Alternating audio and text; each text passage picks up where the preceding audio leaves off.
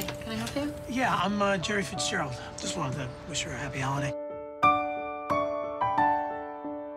It's Christmas Eve, and we've got this thing going on with my father and my whole family that is going to need to be addressed tonight. Yeah, so you're gonna need a drink. There's something I just want to discuss with the whole family. It's about Dad.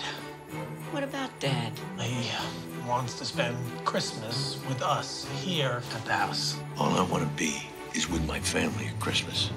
Is that so unreasonable? No, that's definitely not happening. That sounds awesome. Does it sound awesome? You think you're ready to see the old man?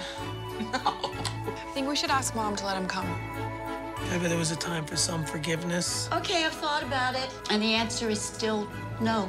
I am more than okay with that. You're All crazy. How does she know my Jerry? Oh, they met here yesterday. If you can visit, I'll see you. She seems like a nice girl. I thought I'd do them each a favor. Maybe you could stay and we could have a drink. But you never asked. What brought you here tonight to this fine establishment? I was waiting for my train. Well, I got bad news. You, uh, you missed it. No, I missed my train. Right, so, There's gotta be another train.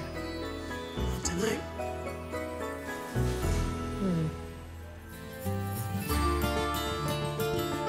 Deserves to be there. Does he? There's a guy who walked out on his family. Oh, I don't know. I don't know what I'm supposed to do, you know? Have your brothers and sisters figure it out for themselves. I know he hurt you, but he's still our father. An angel just got their wings. None for you, though, Pops. Guess there's nothing else to say.